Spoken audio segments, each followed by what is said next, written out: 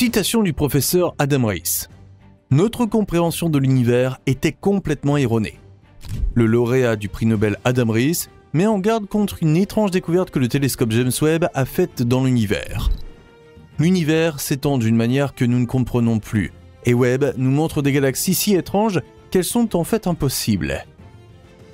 Notre science est arrivée à son terme, et ce qui pour certains est un échec sur toute la ligne, est pour des chercheurs comme Adam Rees le début d'une nouvelle science qui apporte des réponses attendues depuis longtemps à des questions élémentaires sur l'univers. Rees sait que l'expansion de l'univers et les folles données d'observation de Webb sont liées. Et que toute la crise tient peut-être à un tout petit détail que nous avons tout simplement négligé jusqu'à présent. Même le vieux télescope spatial Hubble nous a montré une image étrange d'une galaxie complexe qui est inhabituellement vieille. La galaxie, appelée GZ9P3, a longtemps été un simple flou de lumière et nous ne pouvions guère découvrir plus de détails à son sujet. Jusqu'à l'arrivée de Webb. La nouvelle superstar des télescopes a non seulement confirmé l'existence de cette galaxie, mais aussi son âge inhabituel. GZ9P3 n'a existé que 510 millions d'années après le Big Bang ce qui en fait une galaxie des débuts relatifs de l'univers qui aurait commencé il y a 13,8 milliards d'années. GZ9P3 a fait l'objet d'une étude approfondie dans le cadre du projet international GLASS, et de plus en plus d'incohérences ont été mises en évidence. GLASS est l'acronyme de GRISM Lens Amplified Survey from Space. Ce projet recherche la lumière des galaxies les plus anciennes de l'univers. Les résultats ont montré que GZ9P3 n'était pas seulement exceptionnellement avancé pour son âge. Cette galaxie est très probablement déjà le résultat d'une fusion entre deux ou plusieurs galaxies plus petites. Et cela, tout comme l'existence de la galaxie elle-même, est un miracle scientifique. 510 millions d'années après le Big Bang, des galaxies finies peuvent théoriquement avoir déjà existé, mais il est peu probable qu'elles soient aussi développées et grandes que GZ9P3, entre autres. Le fait que des galaxies aient déjà fusionné à ce stade précoce de l'univers bouleverse nos vieilles idées sur l'évolution des galaxies. La nouvelle étude du GWST montre également que GZ9P3 possède un double noyau. Ce qui pourrait indiquer que la fusion des galaxies pouvait encore battre son plein au moment où l'image a été prise. L'équipe GLASS a découvert que GZ9P3, semblable à d'autres galaxies précoces observées par le JWST, est déjà si massive et mature que son apparence est pour le moins inhabituelle pour une galaxie de l'univers jeune. Ces jours-ci, de nombreux chercheurs parlent également d'impossible, même s'il faut bien sûr être prudent ici, car ces galaxies existent clairement et ne sont donc pas impossibles. Au contraire, il est tout simplement impossible pour notre science d'expliquer leur existence en fonction de nos modèles cosmologiques. Ce qui est fascinant, c'est que ces galaxies contenaient déjà plusieurs milliards d'étoiles à cette époque précoce. Et pourtant, nous sommes à l'époque de la fin de l'âge des ténèbres, ce qui signifie que seules les premières étoiles devraient effectivement être visibles. Le télescope James Webb a été construit et est lancé dans l'espace dans le but de nous montrer exactement ces premières étoiles. Mais au lieu des premières proto-étoiles et des amas de galaxies lâches, nous voyons des galaxies impressionnantes et très développées qui semblent avoir déjà plusieurs milliards d'années. Comment ces galaxies peuvent-elles exister? Ce que beaucoup de gens ignoraient, c'est que Hubble avait déjà découvert un certain nombre de galaxies très anciennes qui ne correspondaient pas tout à fait à l'image de l'époque. À l'époque cependant, les galaxies qui existaient 500 ou 400 millions d'années après le Big Bang étaient considérées comme des exotiques individuels et des cas particuliers. En outre, il n'était pas tout à fait certain que les points lumineux soient réellement des galaxies complexes. Les images de Hubble étaient loin d'être aussi instructives que les images de James Webb le sont aujourd'hui. Les objets brillants et lumineux du début de l'univers pourraient également avoir été des amas des fameuses étoiles de population 3. Il s'agirait des toutes premières étoiles de l'univers, beaucoup plus grosses que les types d'étoiles habituelles d'aujourd'hui et composées principalement d'éléments légers. Ces géantes stellaires avaient une luminosité qui ferait pâlir les étoiles d'aujourd'hui mais elle se consumait après seulement quelques centaines de milliers ou millions d'années. Grâce à l'analyse de Webb, nous savons maintenant qu'il y a des millions ou des milliards d'étoiles à l'intérieur de ces taches de lumière d'apparence floue. Cela ne correspond pas aux anciennes hypothèses selon lesquelles quelques étoiles géantes s'agglutinaient pour former des protogalaxies. De nombreuses galaxies examinées par Webb présentent déjà des structures complexes telles que des bras et des barres spirales. Ce qui va également à l'encontre d'un jeune stade de développement des galaxies. Cependant, GZ9P3 est un véritable mystère parmi les très vieilles galaxies découvertes jusqu'à présent, et ce pour d'autres raisons.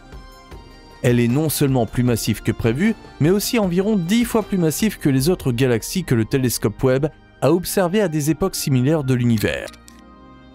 Sa forme complexe, avec deux points lumineux révélant des noyaux denses, suggère que GZ9P3 s'est probablement formé lors de la collision de deux galaxies précoces. Sur les images détaillées de Webb, un grand nombre d'étoiles jeunes et brillantes sont visibles à l'intérieur de GZ9P3.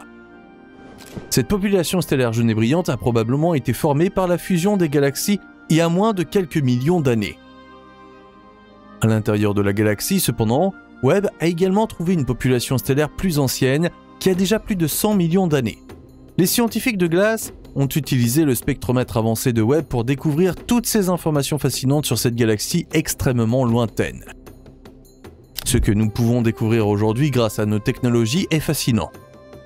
Pouvoir observer les détails d'une galaxie située à plus de 13 milliards d'années-lumière est un grand coup de chance pour nos cosmologistes. Grâce à la spectroscopie de Webb, nous pouvons même déterminer les éléments qui composent ces étoiles.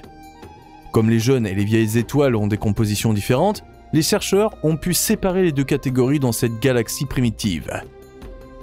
Les étoiles plus anciennes apparaissent généralement plus rouges et sont plus riches en éléments lourds, que les astronomes appellent également métaux. Si les vieilles étoiles ont largement brûlé l'hydrogène présent dans leur noyau en le transformant en hélium, cet hélium est ensuite brûlé et des éléments encore plus lourds se forment. Les étoiles plus jeunes, en revanche, sont encore dominées par l'hydrogène et un peu d'hélium, et sont donc clairement séparables des populations stellaires anciennes pour Webb. GZ9P3 est riche en silicium, en carbone et en fer, ce dernier étant l'élément le plus lourd pouvant être synthétisé par les étoiles. Cela signifie que lorsque ces étoiles sont mortes dans des explosions de supernova, elles auraient enrichi l'univers primitif en métaux. Une grande partie de ce contenu métallique serait devenu plus tard les éléments constitutifs de la génération suivante d'étoiles, et notre galaxie, la Terre, finalement nous-mêmes, sommes également composés d'éléments qui ont été projetés dans l'espace par des supernovae massives. Adam Rees, nous avons mal compris l'univers. Il est fascinant de constater que le meilleur télescope du monde, le télescope spatial James Webb, nous confronte à tant de nouveaux faits et que nous devons complètement repenser la cosmologie. Adam Rees, lauréat du prix Nobel et chercheur à l'université John Hopkins aux États-Unis, étudie depuis longtemps ce que l'on appelle la tension de Hubble. Il s'est rendu compte avant le lancement de Webb qu'il y avait probablement une erreur flagrante dans notre compréhension antérieure de l'univers. Rees est l'un des principaux scientifiques à s'être penché sur la constante de Hubble, c'est-à-dire la vitesse d'expansion de l'univers. Les scientifiques ont utilisé cette constante pour déterminer les distances, les vitesses d'expansion et l'âge de l'univers. Rees et son équipe ont étudié l'écart entre les valeurs mesurées pour le taux d'expansion qui se produit lorsque les mesures sont fixées à des points fixes différents. Mesurer l'univers et sa dynamique n'est pas si facile, car tous les objets sont en mouvement constant et nous n'avons pas de mur de l'espace que nous puissions utiliser comme constante de mesure. Les scientifiques basent donc leurs mesures sur des objets et des événements considérés comme les plus constants, et il s'agit généralement de phénomènes qui émettent beaucoup de lumière. La lumière est considérée comme la quantité la plus fiable de l'univers. Cependant, la lumière est également en mouvement constant. Une autre source est le rayonnement cosmique de fond qui ressemble à une empreinte des premiers événements de l'univers. Les mesures de l'expansion basées sur le rayonnement de fond cosmique ont montré un taux d'expansion d'environ 67 km par seconde par mégaparsec, tandis que les recherches basées sur les données des étoiles céphéides ont montré un taux d'expansion 73 km par seconde par mégaparsec. Adam Rees et son équipe ont pu affiner leur travail grâce au télescope Webb et ont voulu savoir si une éventuelle erreur de mesure du télescope spatial Hubble pouvait en être la cause. Mais Webb a montré les mêmes déviations, ce qui est inquiétant. Quelque part entre ces deux observations, il doit y avoir une faille fondamentale dans notre compréhension de l'univers, a déclaré Rees dans une interview accordée à l'Astronomical Journal aux États-Unis. L'utilisation du nouveau télescope spatial nous a permis de regarder plus profondément dans l'univers grâce à sa vue infrarouge très nette et d'étudier les distances cosmiques avec encore plus de précision. Maintenant que nous savons que Hubble et Webb confirment les écarts importants, nous pouvons être sûrs qu'il y a une erreur. Pour Adam Rees et son équipe, il s'agit d'une avancée. Si les erreurs de mesure peuvent être écartées, nous devons nous pencher sur nos autres constructions de pensée et théories pour voir où se cache l'erreur, qui peut expliquer toutes ces observations étranges et ces impossibilités apparentes. Depuis que Webb a pris ses fonctions, les découvertes incompatibles avec nos anciennes théories s'accumulent. Adam Rees, qui a reçu le prix Nobel de physique en 2011 pour avoir découvert l'expansion accélérée de l'univers, voit dans ses découvertes une occasion de faire avancer la science. Si nos précédentes mesures de l'univers ne sont pas correctes, la détermination de l'âge, l'idée de l'expansion et même l'idée d'un Big Bang pourraient être fausses, ou du moins pas tout à fait justes. L'univers pourrait être beaucoup plus ancien qu'on ne le pensait, et ces découvertes ont même des implications sur l'histoire de l'origine de la matière. Des galaxies inattendues, massives et très évoluées indiquent clairement que l'univers d'il y a 13 milliards d'années et plus n'était pas ce que l'on pensait jusqu'à présent. De nouvelles perspectives sur l'univers. À quoi penses-tu spontanément lorsqu'un scientifique comme Rees affirme que notre image de l'univers est probablement complètement erronée? Un univers infini, les dimensions folles de la théorie des cordes ou la possibilité qu'il existe des millions d'univers selon la physique quantique? Jetons un coup d'œil sur les nouvelles images cosmologiques potentielles qui pourraient maintenant voir le jour. À l'heure actuelle, les scientifiques refusent toujours avec véhémence d'ouvrir la porte à des théories telles que l'univers quantique sur la base des nouvelles observations. Ils pensent plutôt que les déviations du contour de Hubble pourraient être dues à des malentendus ou à des interprétations erronées de l'énergie sombre. Cette force mystérieuse, qui est considérée comme le facteur moteur de l'expansion accélérée de l'univers, est largement inconnue en ce qui concerne ses propriétés et son comportement. Il se pourrait par exemple que l'énergie noire ne soit pas répartie uniformément dans l'univers ou que son effet change au fil du temps et de l'espace. Ce qui conduit alors aux différents taux d'expansion mesurés. Une autre piste de réflexion pourrait concerner le frère tout aussi mystérieux de l'énergie noire, la matière noire est un autre élément important de notre ancienne cosmologie. Seulement là aussi le hic est que nous n'avons jamais pu prouver son existence, et donc ses véritables propriétés. Peut-être surestimons-nous son uniformité, et sous-estimons-nous la complexité de sa distribution dans l'univers.